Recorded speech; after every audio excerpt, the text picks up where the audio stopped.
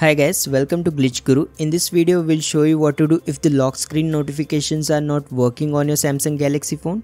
So to fix this, first open the settings app.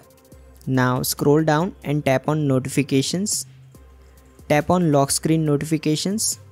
In this menu, you make sure you have selected the cards option. If you have selected icons or dot, you will only see a tiny icon or a dot in the top left corner. So make sure you have selected cards now scroll down and make sure the show content option is also enabled. You can tap this gear icon to view notification settings for each app individually. Now go back to the previous menu. If you are still not getting notifications from a specific app, long press on the app. Now tap this info icon.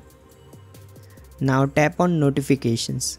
Now make sure here the lock screen option is enabled and the show content on lock screen option is also enabled. Now go back to the previous menu, scroll down and tap on battery. In this menu, select optimized or unrestricted. This will allow the app to work in the background and display notifications.